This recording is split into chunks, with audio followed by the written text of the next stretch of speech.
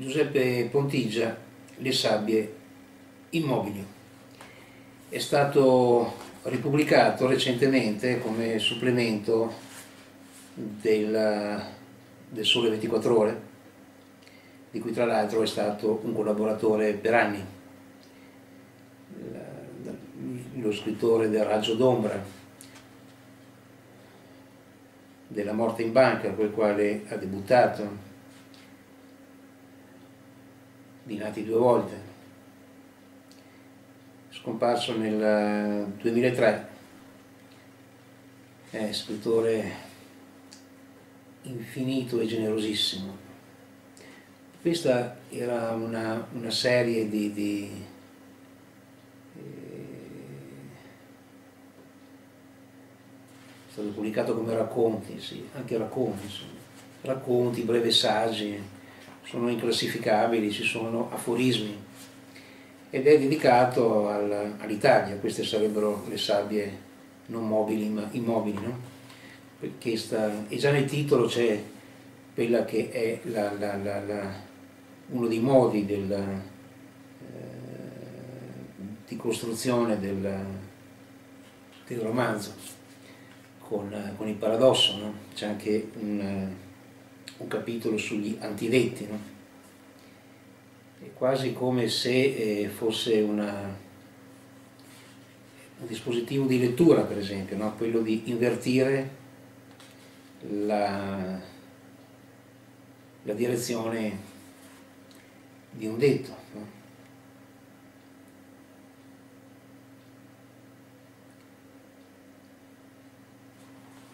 In questo caso, per esempio, nuotare nella povertà, l'assente ha sempre ragione, pesce piccolo mangia pesce grosso, pescare nel limpido, l'occasione fa l'uomo onesto, o Cesare o qualcos'altro, non lasciare l'incerto per il certo, non c'è maggior cieco di quello che vuole vedere, le parole volano, gli scritti anche, l'occhio del padrone fa dimagrire il cavallo, chi si accontenta non gode, il diavolo non è così bello come lo si dipinge. A mali estremi i piccoli rimedi. Sapere dove picchiare la testa. Chi non semina raccoglie. Pochi sono i chiamati, ma molti gli eletti. Il dolce far tutto.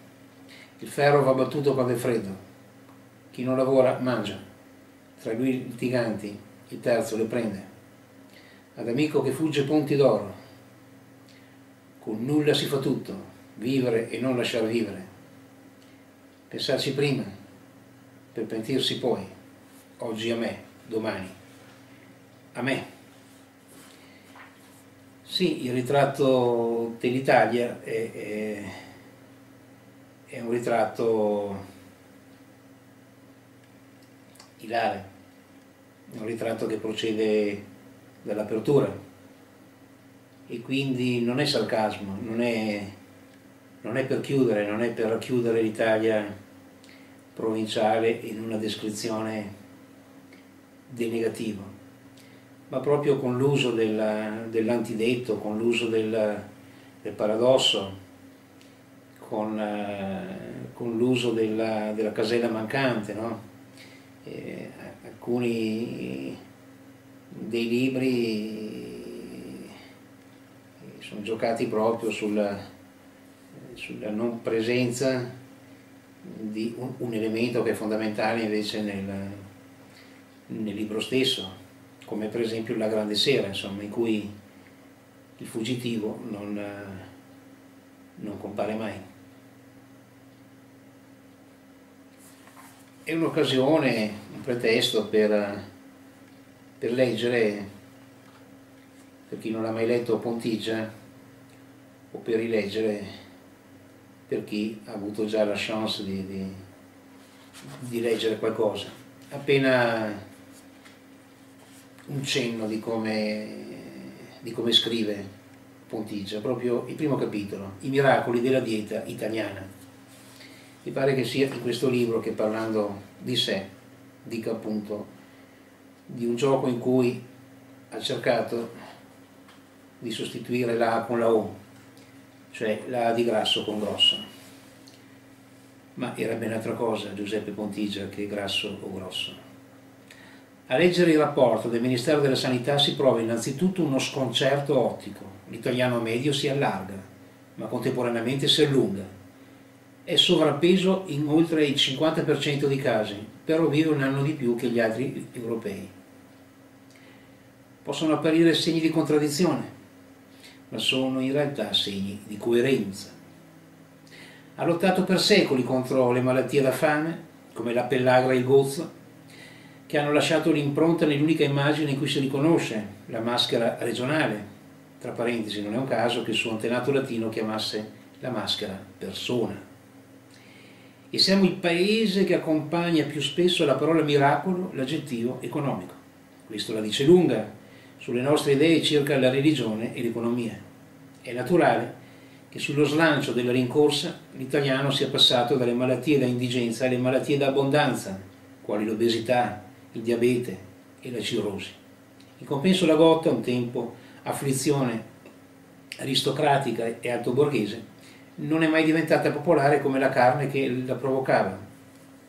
Esempio insolito di classismo perfino nelle malattie Ecco, questa modalità è più forte di, eh, di infiniti saggi,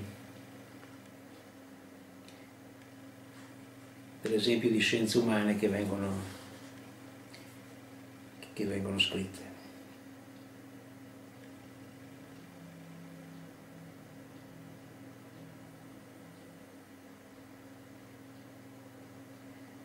Al di là della contraddizione trova una coerenza, al di là del paradosso trova anche ragioni che eh,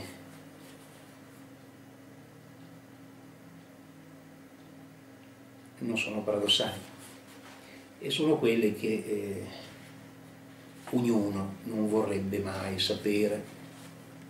Ed è per questo che per questa vicenda del sapere alcuni umani si avvicinano alla psicanalisi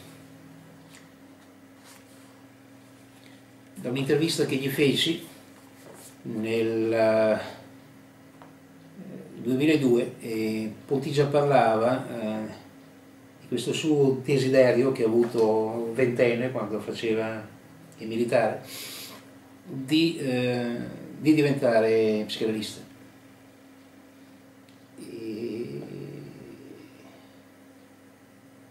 ed è così che ha cominciato a leggere Freud. E forse eh, possiamo dire che è con questa sua scrittura che eh, c'è più analisi nei suoi testi che in tanti breviari psicanalitici. Voilà, per l'occasione Giuseppe Potigia, Le sabbie immobili, riproposto da Sole 24 Ore, e si trova, come quasi tutti gli altri suoi testi, nelle edizioni Mondadori.